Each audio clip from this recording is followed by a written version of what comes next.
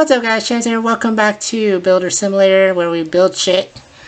We're at tutorial 4, which is loading bearing walls. We did concrete screening for the foundation. Now we're gonna see what about the walls. Let's do it.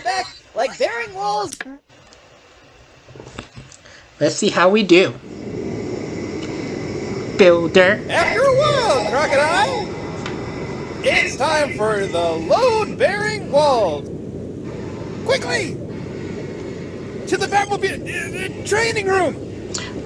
I'll take To you the through Bat- it on the way. There are certain types of walls. In our game, there are three types of walls. load-bearing walls, plasterboard, and concrete partition walls. Trust me, it's the most rewarding part of the construction. You'll see the effects immediately.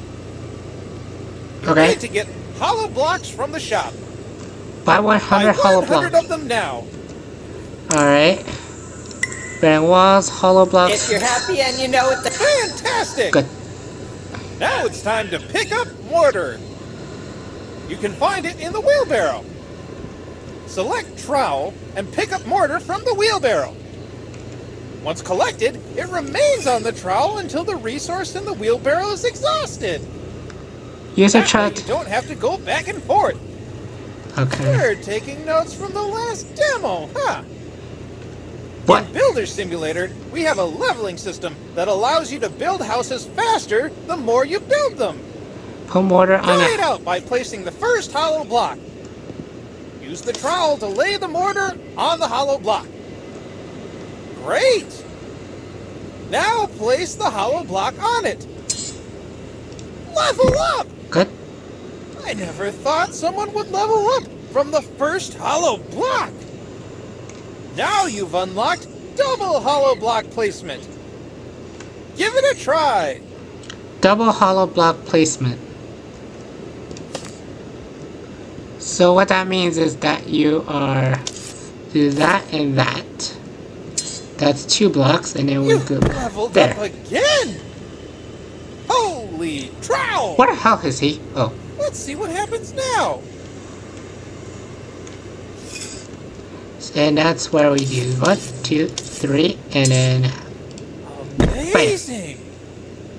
It reminds me of the Egyptian buildings I have in my data.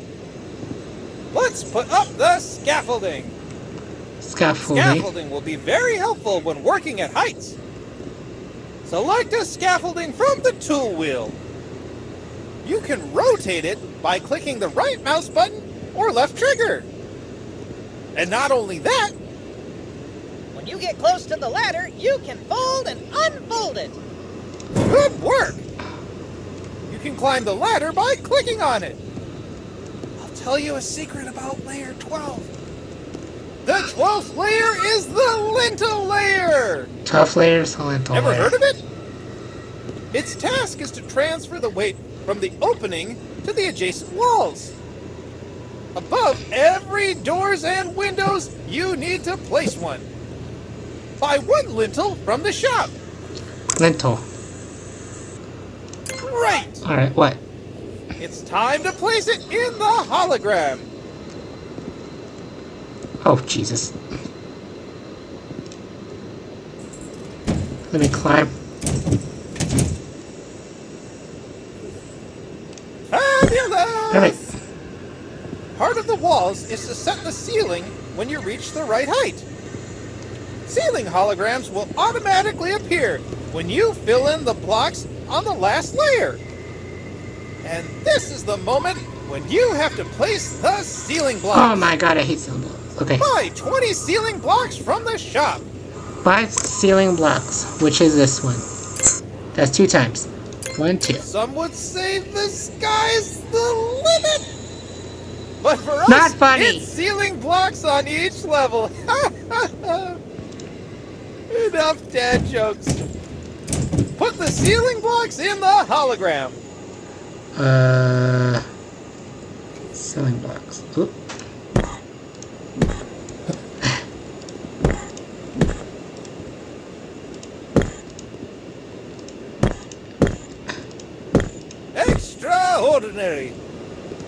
After your work, Can I jump? dismantle your scaffolding with drill. This way, when your house is built and beautiful, you can take a picture of it.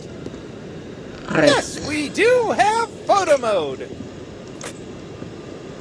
Okay, so dismantle it? How?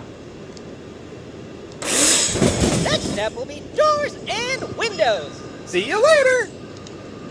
Done. Speaking of working, So check out that sweet piece. so that's that bearing walls where we can do walls and stuff. Next up will be doors and windows, and we'll see that in the next video. Guys, hope you guys enjoyed this video. Like this video, give it a thumbs up. Subscribe to my channel for more Goers Perfect videos. Thanks a lot for watching. We will see you next time with doors and windows.